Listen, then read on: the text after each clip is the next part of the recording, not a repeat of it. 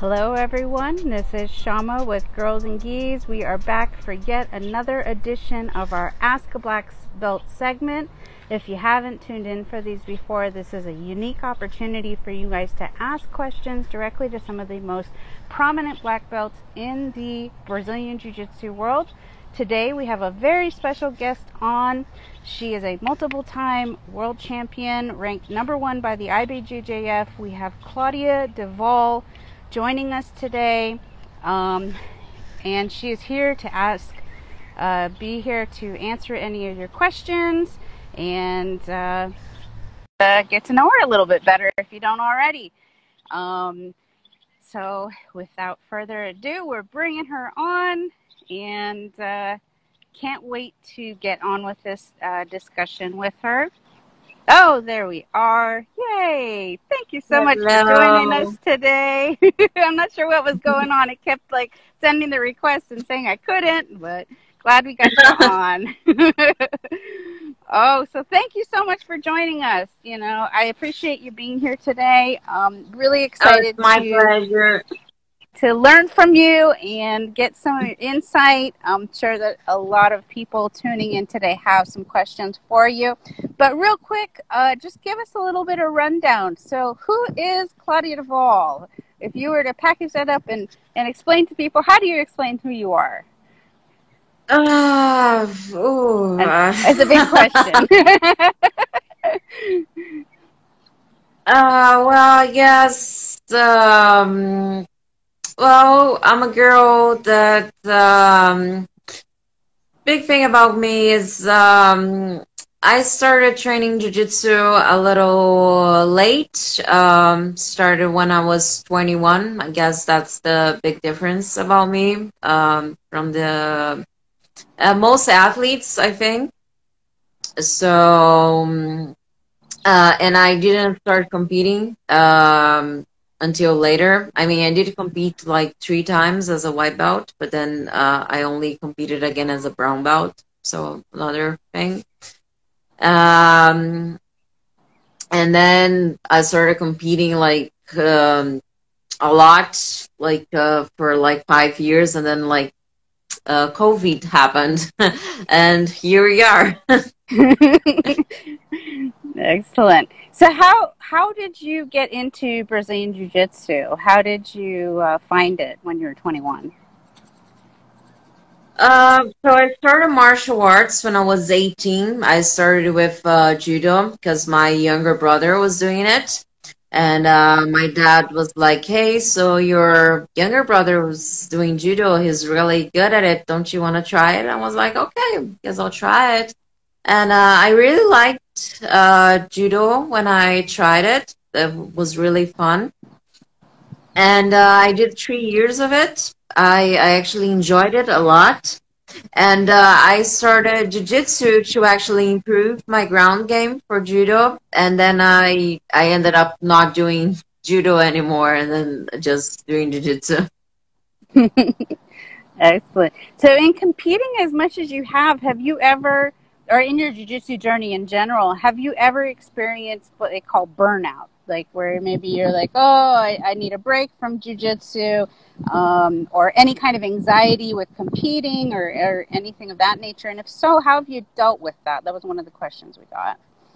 Uh, the burnout, I guess I'm feeling it uh, now, uh, but that's not just from competing too much. I guess uh, all the events that uh, that have been happening uh, from the last year, year and a half, and uh, anxiety, yes, uh, before every single tournament, I get way too nervous before competing. And, uh, you know, my heart starts racing. I don't really have a, a, exact moment when it's going to happen. Sometimes it's the day before, sometimes it's like two days before. Big tournaments is like the day before, two days before. Sometimes it's like two hours before, but it, it's gonna happen. It always happens. And I still don't know how to deal with it. I still don't have a. yeah, I, I, I think that's something that just it just never goes away. yeah, so, I still I still have them. People people ask me like, how do you do you deal with it? Like I don't. I still don't know how. this is a. So have you ever had a situation where maybe you were uh, uh, like somebody had asked you to partner that you ne- don't necessarily want to work with, and uh, how do you suggest to someone kind of avoiding that or, or getting around that if they don't want to work with them? Do you have any advice for people? Uh, it happens a lot. I mean, being a woman, there's, you know, a lot of times when, uh, you know, you have to, you know, roll with men that they don't really know how to use their strength. Being a woman, it happens a lot and uh, especially having a male professor and uh, they really don't know they don't really understand what's going on and i've seen it happening you know like a male professor seeing a guy just wrecking a female student they're like just seeing it happen like oh okay and they really don't see the problem. And uh, so, like being a woman, I think you should understand that it's okay to say no to a male partner because uh, there's so much, you know, going on around jiu-jitsu that you know sometimes like people get this crazy idea that like oh no you have to be tough if you do jiu-jitsu you have to be a tough woman and you can't say no. You have to prove you're tough and you you you can't say no. You have to train with everybody. No you don't. You don't have to train with everybody. You have to you have to uh, take care of yourself take care of your body and uh, you need to uh, prioritize your health and your well-being. So like if you're training with some with someone that and that person is hurting you at first you can politely say like hey you're hurting me. Can you please try and go light? And if that person is not doing that and you're like hey i i tried asking you and it seems that you're not able to do that. So like i i think i i can't train with you because you seem not to be able to to train with me. And I think like when women should be able to do that. So, like mostly, even a guy, like if you're a small guy and there's like a huge guy that is just like racking you and hurting you, like you, it should be okay. I mean, it is okay. You have to be, to be, you have to be able to to tell someone that you don't want to work with them because either they're hurting you or just because you don't you don't want to. Like you should be okay. You should should be able to to say that. Absolutely. Absolutely. Mm-hmm. So I understand that your your family had wanted you to be an engineer or to do something technical and you went in the different route and, and went into jiu-jitsu was that hard for your family at first to kind of um, accept that you'd taken on a different path in life uh, actually, my dad wanted me to be a doctor because um, in his mind, that's like how you mm-hmm. make money. Uh, he's not wrong though. like like you you can make a lot of money uh, being a doctor, but uh, I think that's something you gotta really have a passion for if you if you want to to be a doctor. And um, I don't I don't have a passion for for it, so I don't think I would uh, I would do do well um, doing that. So, and I always had a passion for math, calculus, and everything. So that's why I decided to try and follow the engineering path. And uh, I did like uh, two and a half years of engineering, but um, didn't go too well for me. And uh, my dad always had um, this idea that you wanted to do well in life, you had to have a diploma. And uh, so at first, when I told him that I didn't really want to keep on with uh, university, he wasn't too thrilled about it. Which is why, like, when I decided not to to go to university anymore, I didn't tell him right away. It took me a few years to tell him. But um, in the end, when he saw that I was doing jiu-jitsu, doing well in tournaments and uh, doing seminars and stuff, and he was like, "Oh, okay, it seems like that's something she's able to do." That's excellent. That's excellent that you have that support from your family. I know you were just like competing, refereeing, traveling all over. How was it for you when everything kind of stopped? Was it kind of an adjustment? Was it hard to accept the fact that your life had kind of changed for a little bit and you were a little bit more stationary? Because I know you were on the road constantly for, for a long time.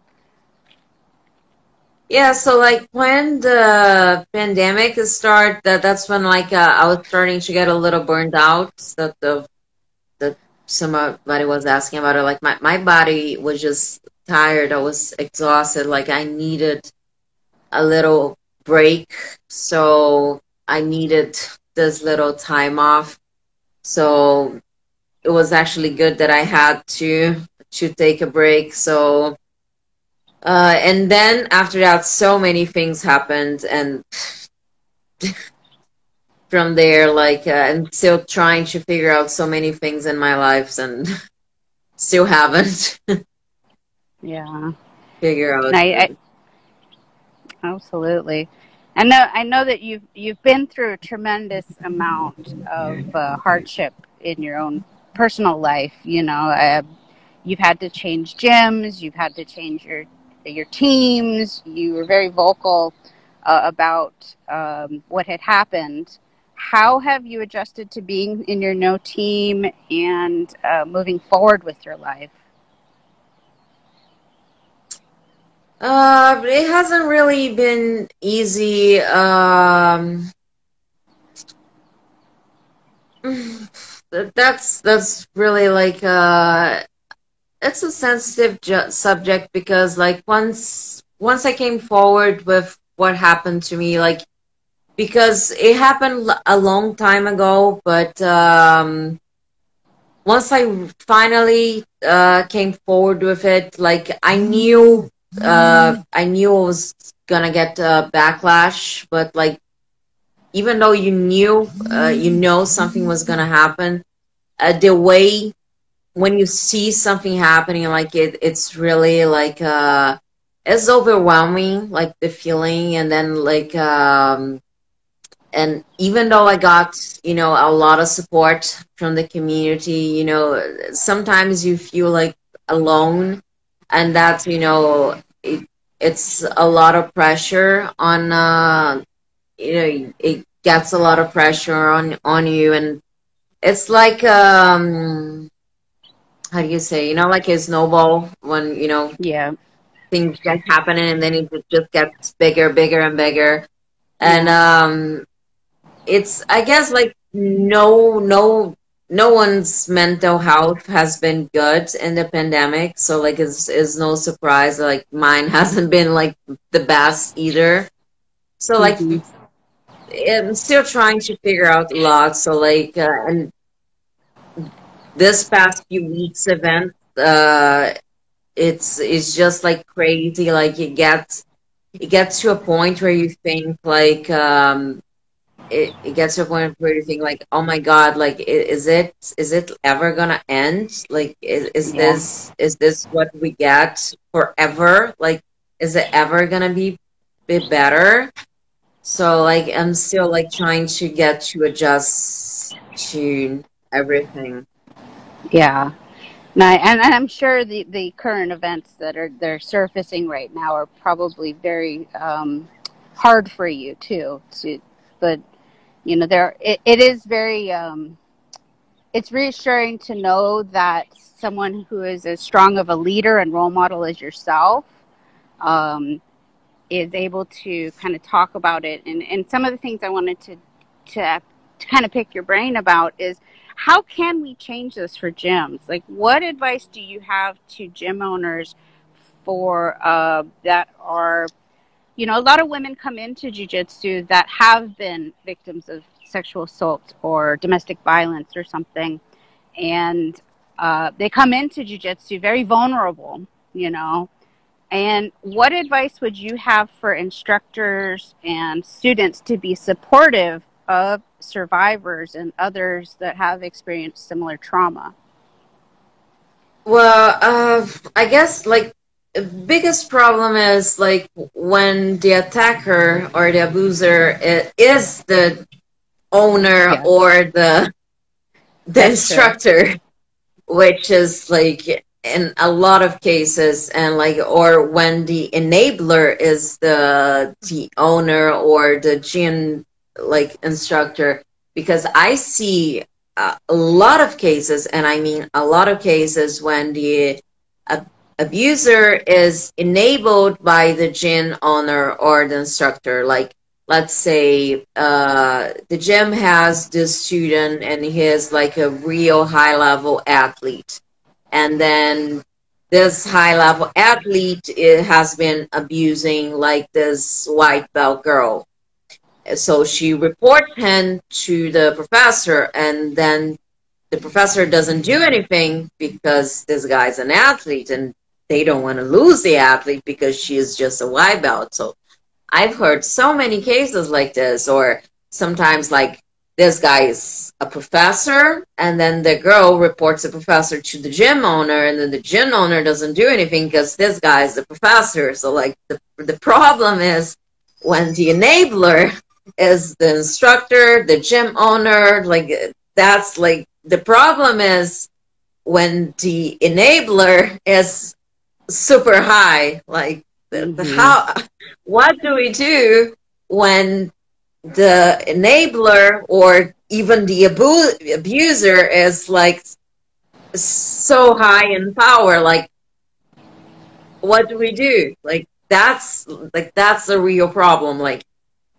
what what can we do? Like I, I don't know but first of all i think like it's so wrong for a professor to make a move on a student that's that's so like you you don't do that. That that's so messed up. Like it it doesn't matter. Like if you're single, she's single. Like you don't do that. You don't make a mm-hmm. move on your student. That's wrong. Like I I've I've seen cases where like they like a professor end up marrying the student and but I, I think it's wrong for a professor to make a move on the student. I just I just think it's wrong. Like I, I don't think it's okay.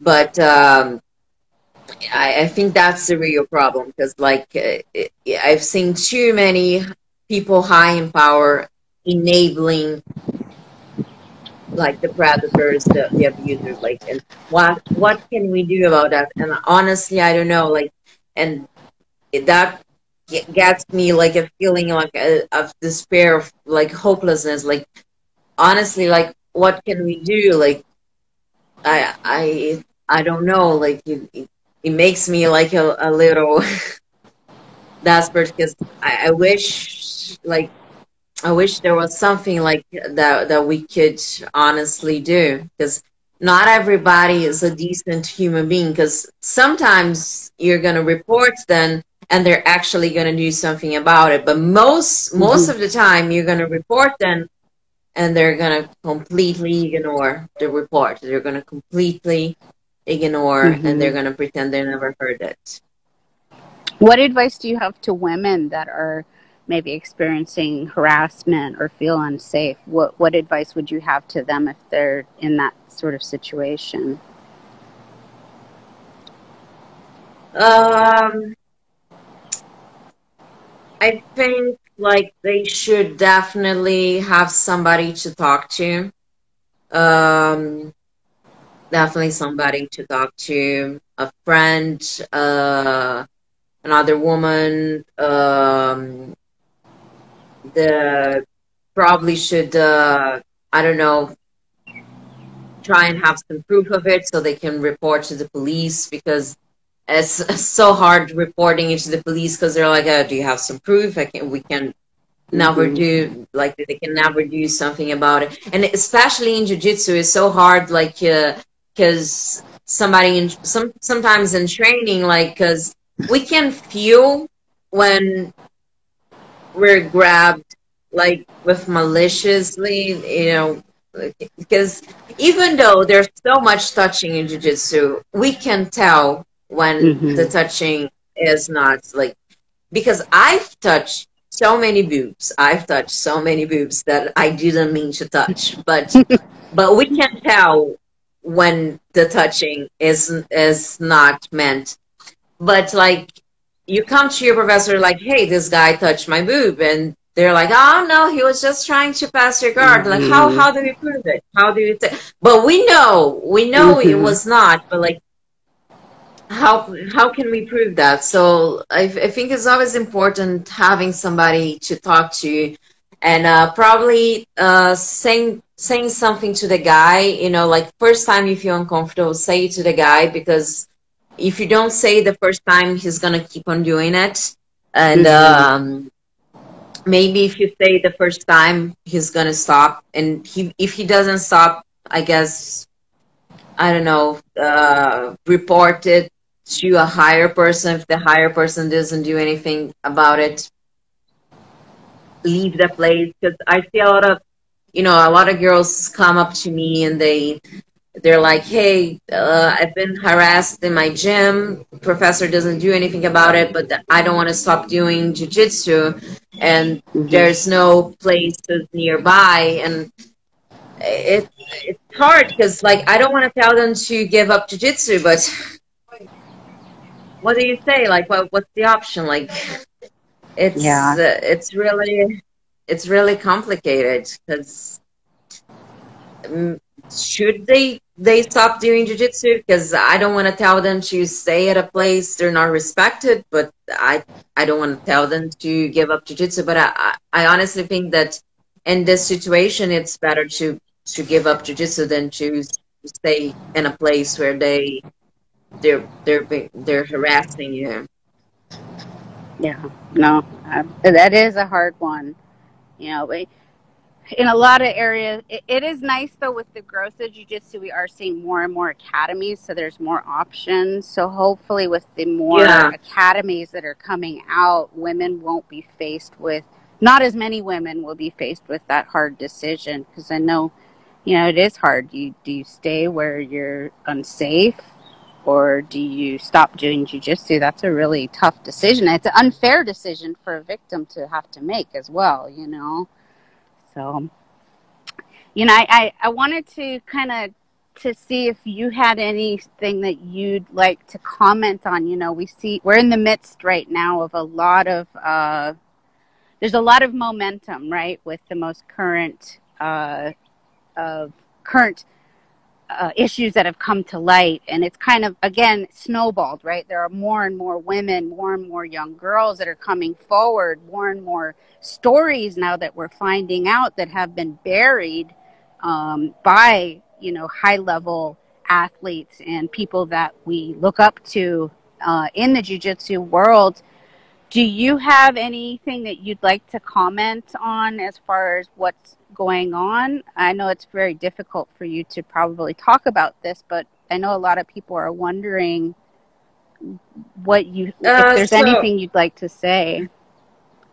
So like on, on this last few days events, I think like uh like I was saying, uh usually like the enablers coming from like the high power. So like so in this case, like we have the highest power possible within the gym, enabling and protecting a predator. So like in this case, like what could you do? Like the highest guy in the gym was protecting a predator. So and uh, needless to say, that's so wrong. That's and um, he uh, he later apologized, and I honestly don't buy his apology because he came three years too late. And um, his speech was uh, clearly not written by him.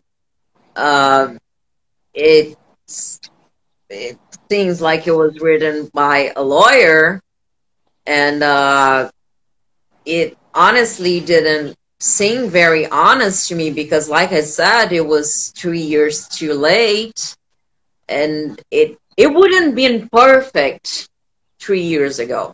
Like Mhm. if he had issued that apology and he if he had stood by it three years ago, that would have been amazing. Like if he and and again, like because he was pressured by the media to issue that apology. It, it was not something that he felt he should do because he was pressured a lot by the media to issue that apology. Because if, if it was something that uh, Marcel Gonçalves did something and he was like, "Oh no, you did you did this. Now I feel I should do this." It- it- that was not the case. That was something Marcel did this, and then the media was on him, and now he felt that he should do this.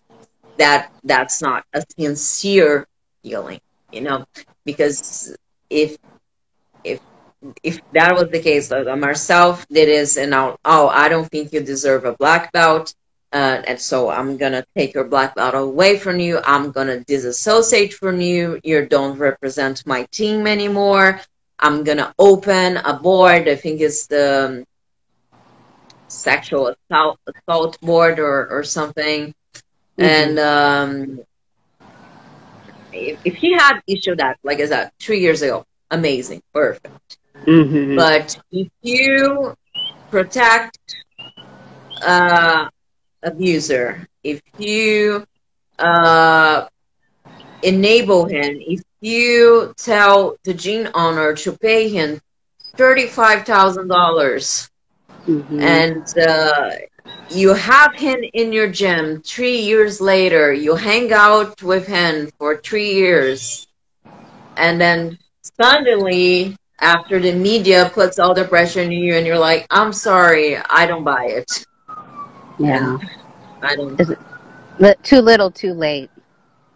Uh, yeah, too little, too late. And then there's the case about uh, Bonito in Brazil. That's uh, he made no comment about it, so he's not denying it. He's not uh, confessing, but uh, the girl said, and I don't think there's no reason for anyone to make that up. And Yeah. um, a few of his black belts uh, narrated the story. One of them even named himself. He's like, I'm a man, I was there, I saw it, so I'm gonna say that this happened. So Mhm. a few people that were there actually said, I was there, I saw it happening. And um, if the story is how it goes, like if you see a girl uh, suffering a rape attempt and then you tell her, hey, don't press charges, and then she does, and then you go like, hey, you ruined the camp, and you force her to withdraw her statement. I mean, Yeah. Yeah. No. I mean, there's no excuse possible to for that behavior. Mm-mm. No, none whatsoever. yeah.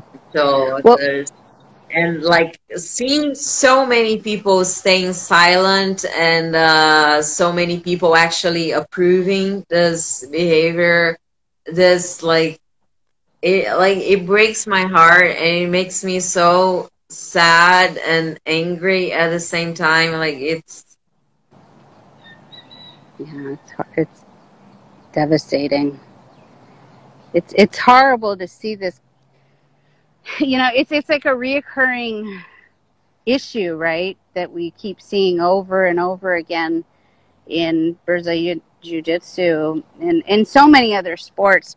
Um, but I think one of the things that we've seen a lot more of is a lot more men standing up and saying this is wrong um, and a lot of prominent men like Mo of ADCC, right, uh, jumping in Yeah. and really spearheading this and really build, helping to build a lot of momentum. What are your thoughts on, you know, like how do we keep this momentum going? How do we get more, you know, does it make a difference if the men are standing by us saying this is wrong, we need to do something about it? Um, and like what are your thoughts on on getting them more involved? Should they be more involved? And does it does it make a difference if it's men or women that are helping to support and uh, bring awareness to this issue? Uh, I I'm saddened to say that unfortunately it seems that when men speak out, yes, it makes a difference. It does.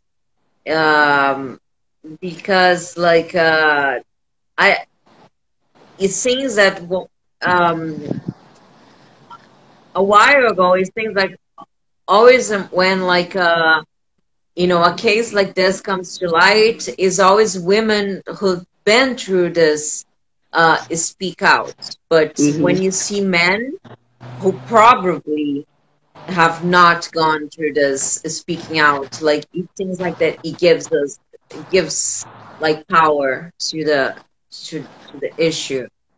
Um, so it, it it it saddens me that he has he has he needs a male boy to have power, but unfortunately it does. It need it, it need we need the we need we need male support to him, but but gladly we do have it. We have we yeah. have Tom DeBlass is speaking out on it. Emil Fischer has been uh, talking about it. Dante Leon has been talking about it, and like um, so so many men have been talking about it, and like I'm glad they have.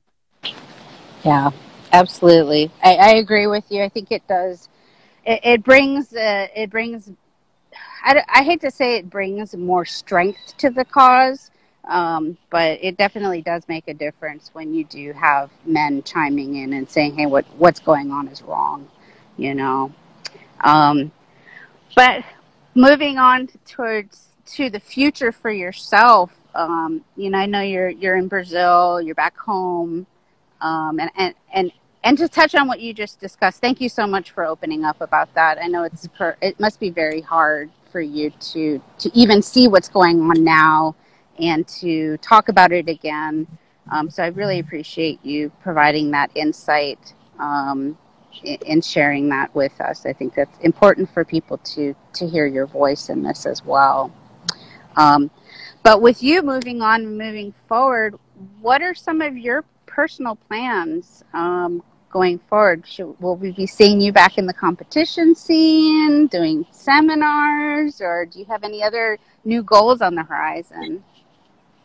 To be honest, like I've been going through kind of like not very motivational period of my life, so I honestly don't really know what's gonna gonna happen in the future for me. So like I'm still trying to figure out what's gonna happen. So I don't really know what's what's in store in the future for me. But uh, I pro I'm I'm probably not done with computing.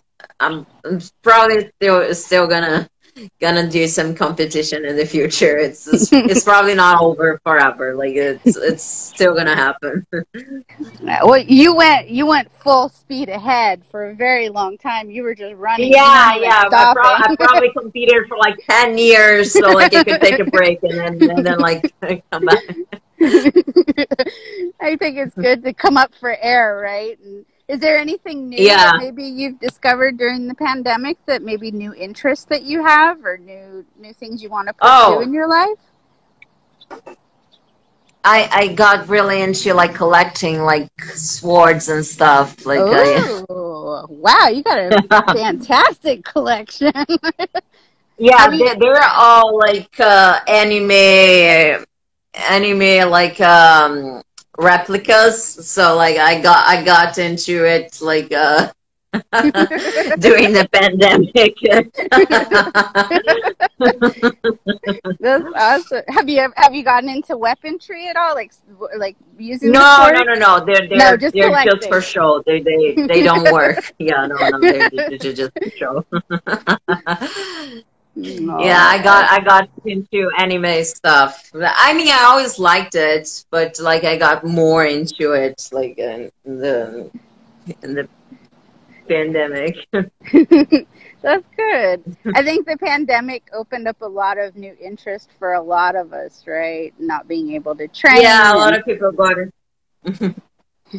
moving on to other things and other hobbies and yeah. So how are things in Brazil now with the pandemic? Is it are gyms open? Is it normal training or or how is it as a as a whole? Um Jiu-jitsu training, I think, is almost back to normal. Uh, sometimes it closes, sometimes it opens back up. Like, um, like the regular gym, you know, like the lifting weights. Um, I think most of them like have regular hours. It's just like you have to wear a mask to mm-hmm. work out. I don't know how how is it how it is in the U.S. now. I I uh, heard like some places like you don't have to wear a mask anymore. We did, but then now we're kind of going backwards in a lot of places where they're starting to reinstate the mask man- mandate, uh, starting to mandate uh, smaller groups of people, uh, indoor activities. I'm, I'm here in Hawaii.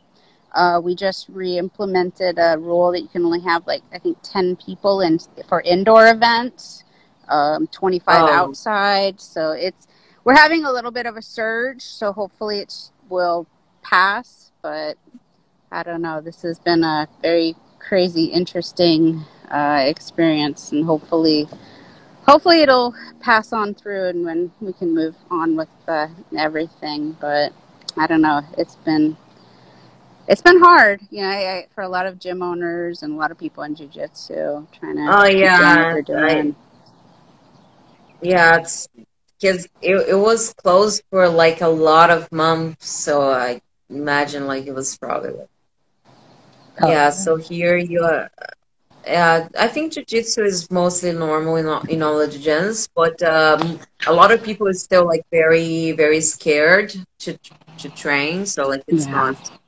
normal everywhere. I got my first do- dose of the vaccine, so oh, good. Good. Uh, I get the second dose in October.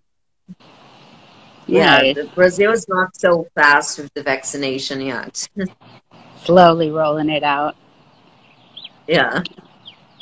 Yeah, but I, I don't think the Brazilians respected the COVID very much because, like, the streets have been crowded ever since, like, May last year. Streets were crowded. Like, I don't think they respected it very much.